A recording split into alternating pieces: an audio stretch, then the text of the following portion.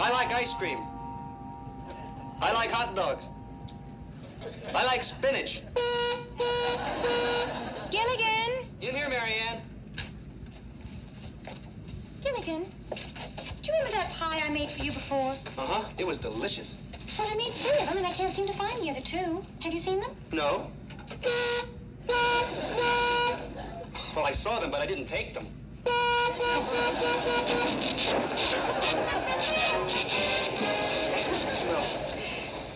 they were delicious.